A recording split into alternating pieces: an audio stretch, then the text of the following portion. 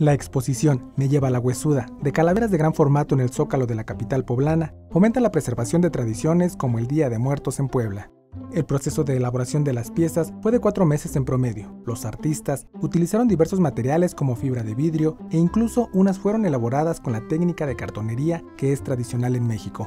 Se espera la asistencia de 200.000 personas durante los días que dura la decimoprimera edición del festival La Muerte es un Sueño en Puebla, que cuenta con más de 50 actividades que van desde conciertos, obras de teatro y exhibición de ofrendas, todas con el objetivo de fomentar y preservar la celebración del Día de Muertos.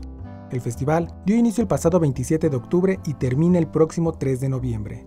Con información e imágenes de Javier González, corresponsal en Puebla, Notimex.